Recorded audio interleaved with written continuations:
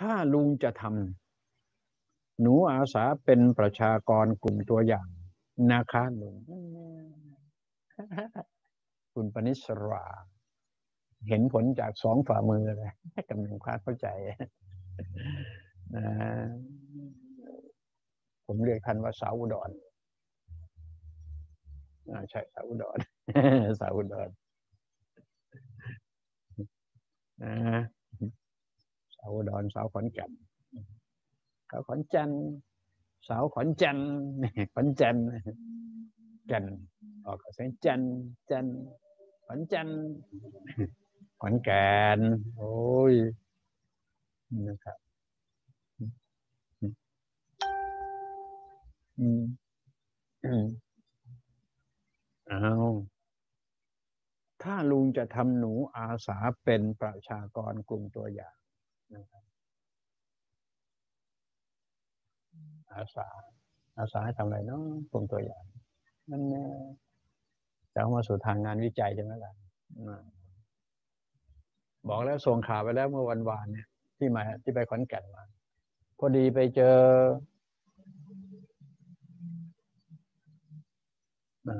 นัก นักวิทยาศาสตร์การแพทย์เขาให้ ก็เลยเสนอเขาบอกว่า มันมีสถาบัน เดี๋ยวนะภาษาอังกฤษเดี๋ยวนะ absolute แอปแอปแอป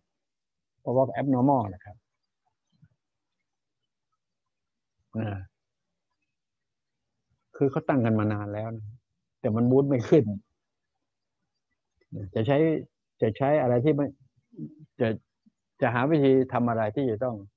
ไม่ใช้รักษามนุษย์โดยไม่ต้องใช้เคมี อ่าไม่ต้องใช้เคมี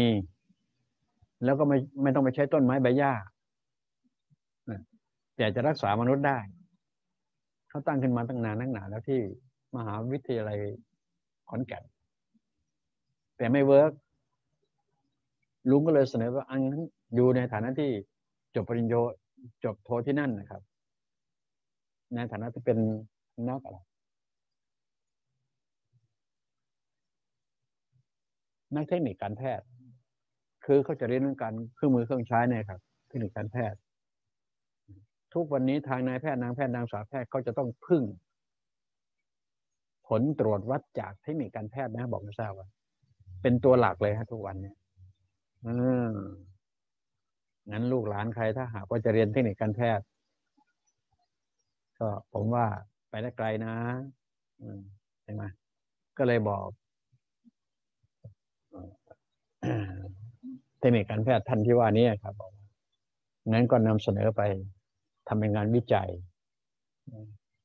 แล้วต่อไปจะเลื่อนสถานะจากเทคนิคการแพทย์เพราะว่ามีพื้นฐานอยู่แล้วนะฮะไปยังอีกองค์ความรู้ใหม่ ในศตวรรษที่ 21 เพราะว่าพอเราพูดคุยเขาจะพูดเรื่องของเรื่องของระบบประสาทครับ ก็เข้ากันเป๊ะเลย ก็เป้าหมายเลยนะครับ อัลไซเมอร์กับพาร์กินสันนี่บอกให้เลยนะครับ โดยการใช้พลังงานที่ว่านี้ ลุงก็จะได้ถ่ายทอดองค์ความรู้ให้กับสถาบันไป ซึ่งอนาคตมันจะกลายเป็นสมบัติของชาติต่อไปนะครับ ก็ฝากเอาไว้ไม่ใช่ใครที่นั่นนะครับ ลูกสาวคุณแก้วตานั่นจะว่าพอดีแล้วมันก็มารับมาส่งคุยกันได้ยาวเหยียดเหมือนกันนะครับ